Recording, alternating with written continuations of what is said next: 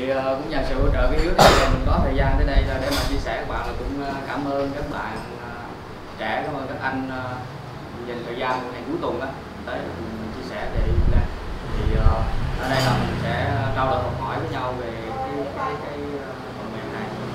À, mình xin giới thiệu lại mình tên là Việt ha. mình uh, đến từ công ty VMA là đại diện Việt Nam. À, ở kia là có anh Ngô Bá Uy anh Ngô Trắng thì anh Ngô Bá Uy đang làm tại uh, công ty Stinit Malaysia.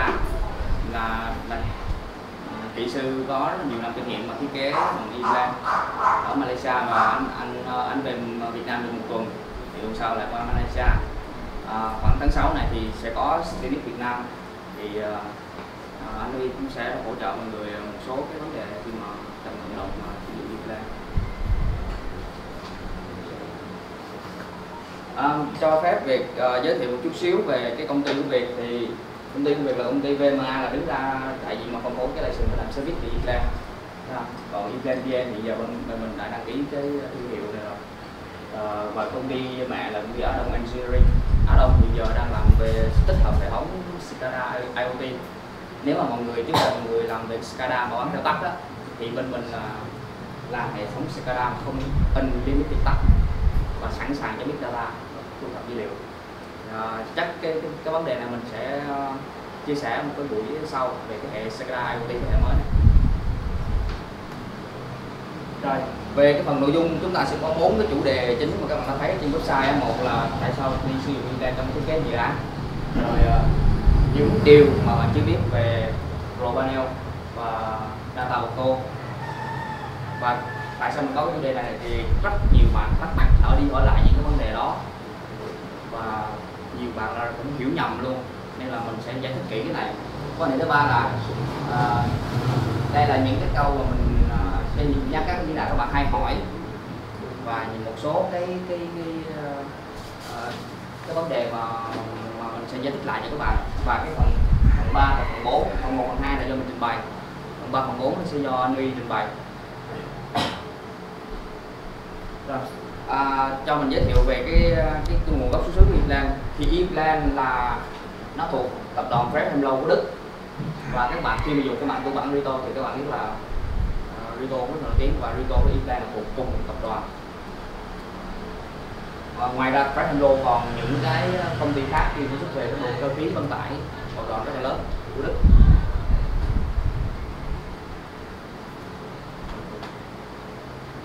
Đối với nhiều bạn e-plan có nhiều bạn biết chỉ vài năm thôi và đối với hoặc là với AutoCAD bạn biết rất lâu, đúng không có nhiều bạn biết e-plan chỉ vài năm thôi bạn nhưng mà lịch sử của anh thành là từ năm 1984 các bạn ai biết đây là e-plan đưa ra cái phần mềm đầu tiên sản phẩm đầu tiên là vào năm nào không? các bạn rất biết AutoCAD đó biết là đưa ra năm nào không? hay biết không mình chia sẻ luôn là uh, cái năm mà E-Plan tung uh, xin lỗi AutoCAD tung ra cái sản phẩm đầu tiên đó là năm 1982 và sau đó hai năm thì ờ, uh, E-Plan thành lập. Lịch sử thành khá là lâu.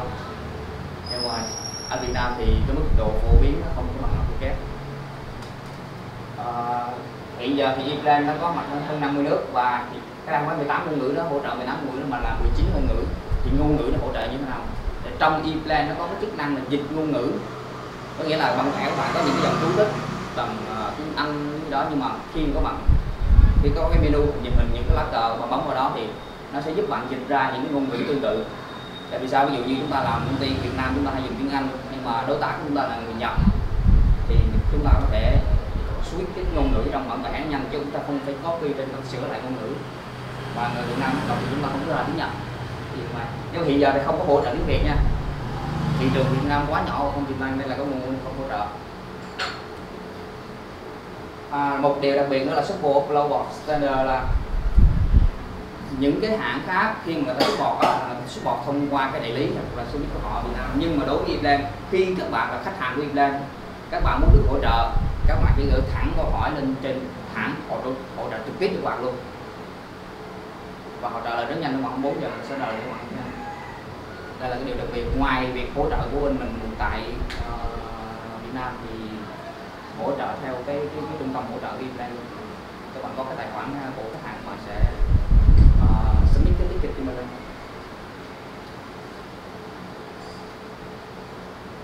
cái hình ảnh này các bạn hay thấy trên website này khi bạn sẽ chỉ lên sẽ ra hình này mình sẽ rất thích luôn cái hình này. Ở đây có e-plan platform có nghĩa là nền tảng của phần mềm Implant thì trên đây có rất là nhiều cái phần mềm nó chạy trên cái nền tảng này. Đầu tiên đó là Implant analytics b8 thì cái này mình sẽ vẽ đi.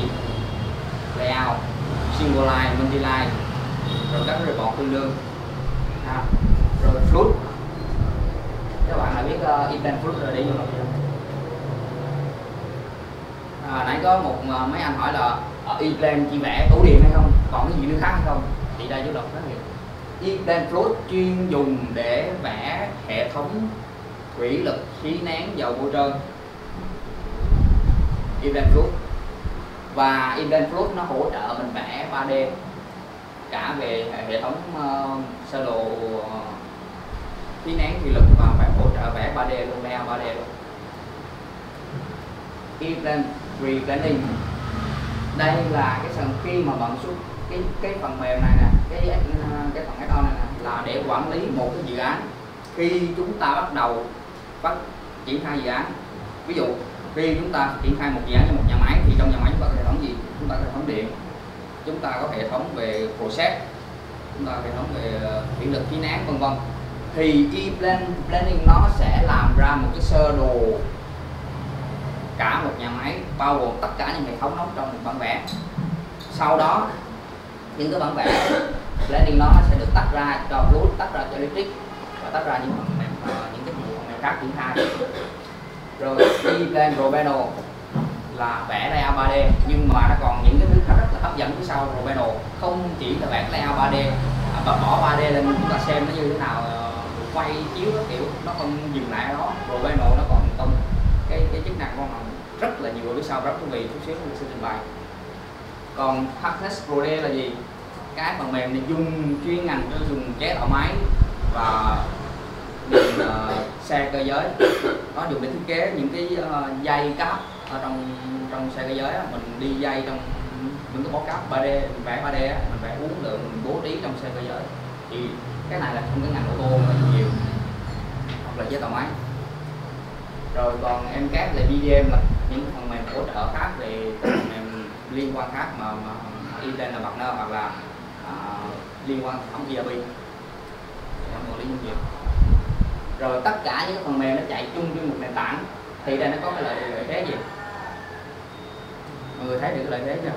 Khi mà nó chạy tất cả những cái phần mềm này nó cùng thiết kế lên một cái nền tảng một platform để mọi người qua lại dạ, chính xác. Cái mấu chốt đó là sự liên kết dữ liệu có nghĩa là tôi vẽ Eric nhưng mà cái data của tôi nè nó có liên quan tới Global tôi kiểm tra chéo được ví dụ như bên schematic đơn giản có một ví dụ như bên schematic tôi vẽ con con à, MCCP thì tôi hoàn toàn có thể nhảy từ cái bản vẽ này qua cái bản vẽ 3D xem nó nằm ở đâu.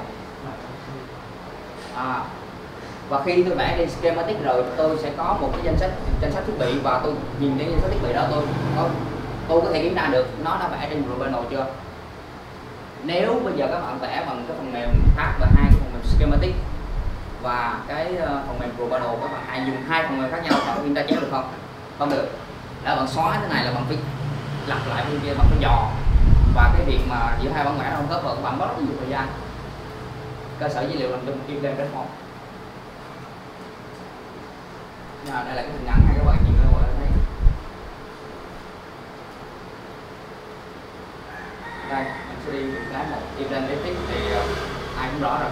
Cái đây thì uh, mọi người tiếp xúc đầu thì đi lên này cũng phải uh, tiếp xúc với thằng electric trước sau đấy đi lên trước và thấy ở đây họ vẽ uh, sơ đồ như nấy lực và phần này với phần điện là nó, nó, nó đi qua nha cùng trên một process luôn nha.